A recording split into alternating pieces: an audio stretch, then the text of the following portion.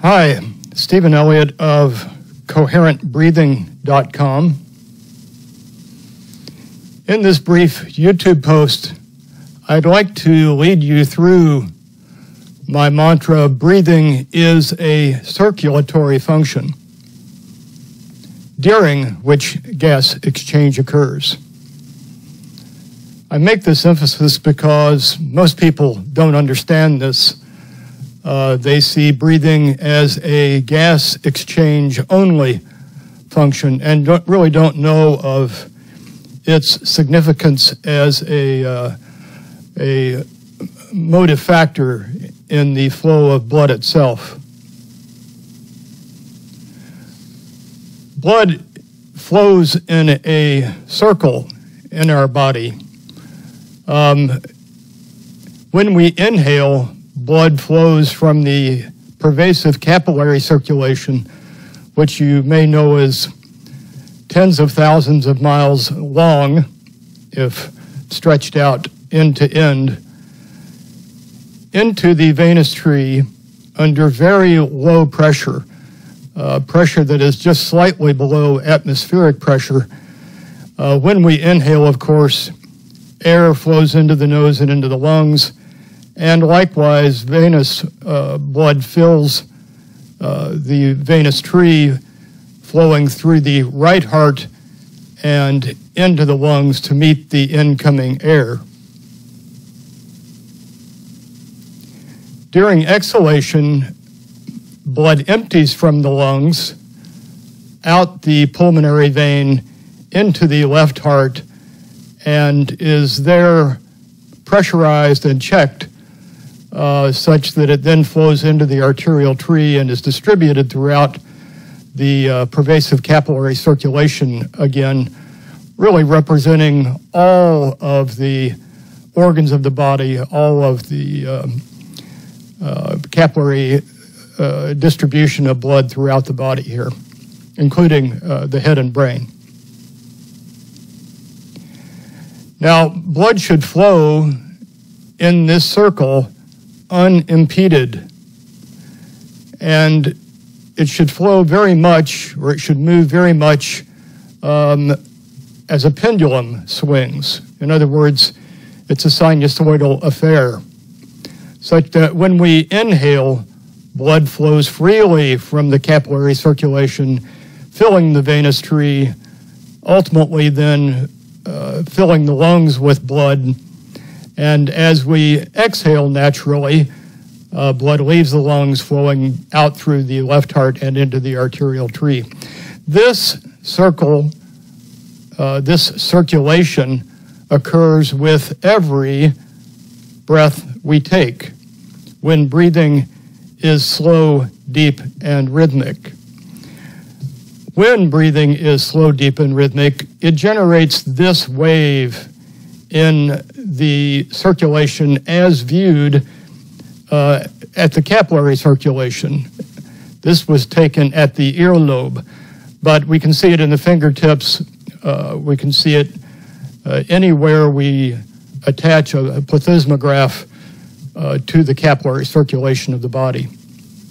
It is also visible in the brain when viewed with hemoencephalography. On the other side, at venous return, here uh, is the sensor at the medial cubital vein. Uh, it works opposite to what we see uh, in the arterial tree. Um, here we see the uh, medial cubital vein of the arm emptying during inhalation and filling during exhalation emptying during inhalation, and filling during exhalation. That's because when we inhale, we're drawing blood out of the capillary circulation into the venous tree, through the right heart, and into the lungs, emptying the venous tree of some volume of blood, let's say um, 500 milliliters or so. And this occurs again every time we inhale and exhale.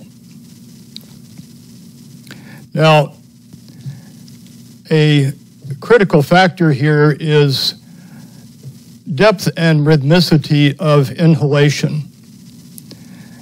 And that is because it is important that we empty the venous tree into the lungs um, on a regular basis. If we fail to do that, then the blood languishes in the venous tree, blood languishes in the capillary circulation, and the arterial blood that the heart is pushing has nowhere to go. So now our circle is not flowing freely, it is impeded ultimately by the uh, blood that's backed up in the venous tree and blood that's backed up in the capillary circulation. And when that happens, uh, arterial pressure must rise. And the autonomic nervous system knows about flow and pressure in the arterial tree, and it compensates for this by increasing the pressure with which the left heart tries to move the blood into the uh, arterial tree and into the capillary circulation. The imperative here is that the capillary circulation ultimately nourishes all of the cells in the body, estimated at approximately 100 trillion. Note that there are 42 liters of fluid in the, in the body in total, but only five of those liters are blood. This blood making this circle, um, estimated in contemporary medical literature as flowing through this circular system one time per minute. In other words, the five liters makes its way through this loop one time per minute. This is the typical adult uh, rate of blood flow to which I refer. And the typical, um, the typical adult has no wave action uh, visible in their capillary circulation, no wave to speak of. All we see is a uh, heartbeat uh, here I have delineated uh, with these two dashed lines the difference between the uh, cardiac systole and diastole being nominally 40 millimeters of mercury or 120 over 80. So if we subtract 80 from 120, we get 40 millimeters of mercury. But when we add deep rhythmic action of the diaphragm, then this wave is immediately visible in the capillary circulation or in the venous circulation. And we see that the, the peak to peak, from the peak systole to the valley diastole, that being here, um, I've theorized before, based on this Valsalva Wave Pro recording, that it's approximately 70 millimeters of mercury peak to peak. This happens to be a GE Pro 400 uh, blood pressure monitor uh, that responds to blood pressure peaks and valleys in an accurate, reliable way.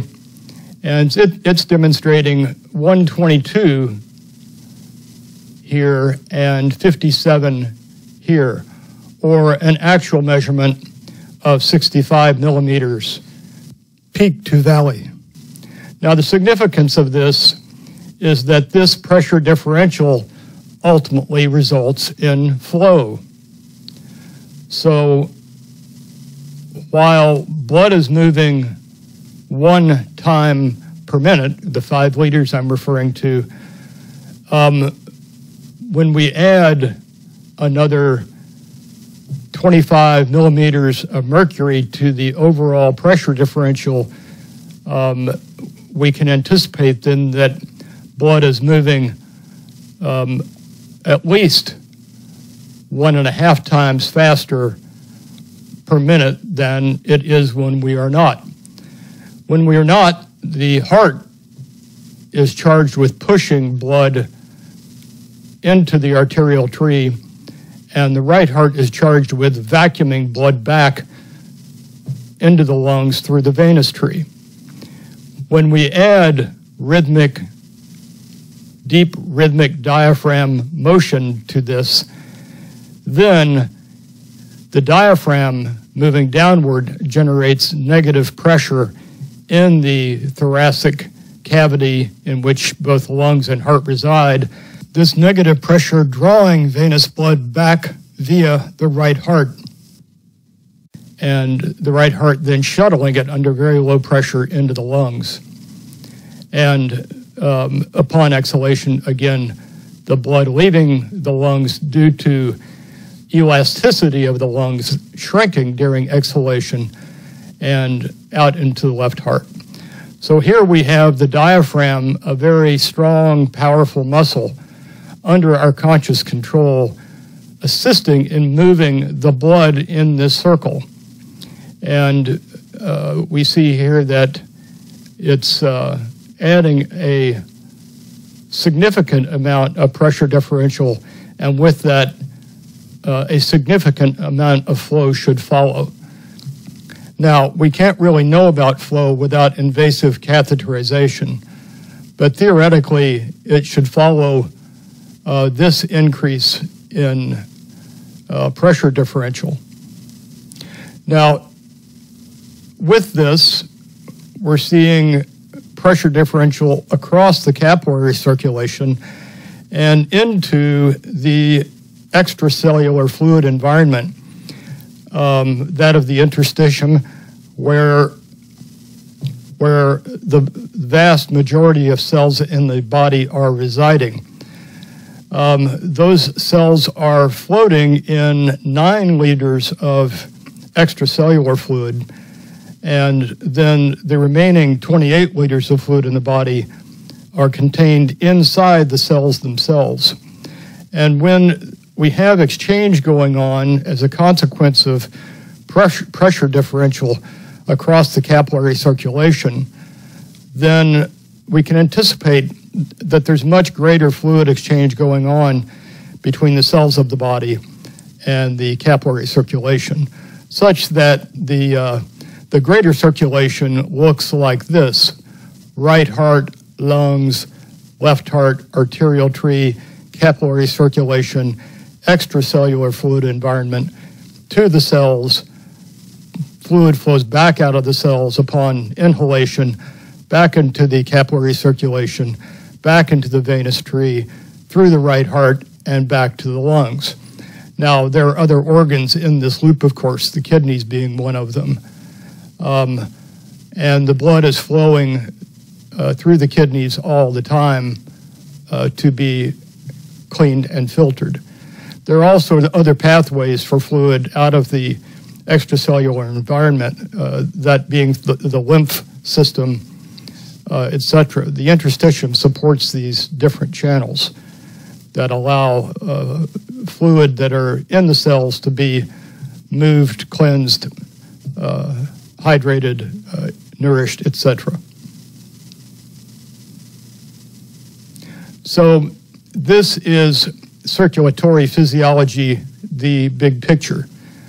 What I encourage everyone to learn to do is to move their diaphragm with depth and rhythmicity, in that depth and rhythmicity set up this wave and give us a lot of the benefits of exercise, even though we may be sitting comfortably in a chair. Uh, the diaphragm is a large, strong muscle that can be moving all the time, circumstances permitting, and will move all the time on our behalf when properly trained. I hope uh, this makes sense to everyone. Uh, please let me know if you have any questions. Thank you.